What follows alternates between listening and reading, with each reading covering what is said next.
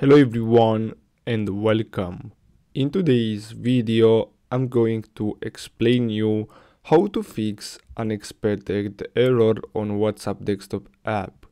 So if you get this error while you try to use the WhatsApp app on your desktop, what you're gonna have to do is simply close the app and then you're gonna have to go to their official website in your browser.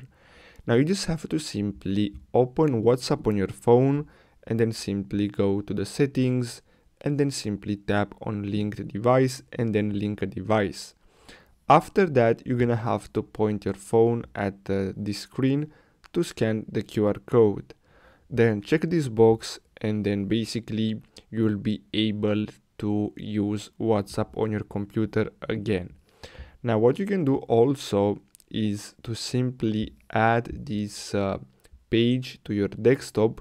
So basically you will be able to access it directly from uh, your desktop. So you can simply click on save page as and then simply save it to your desktop.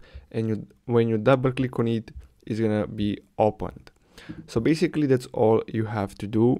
I really hope you found this video helpful. Don't forget to like and subscribe Thanks for watching guys.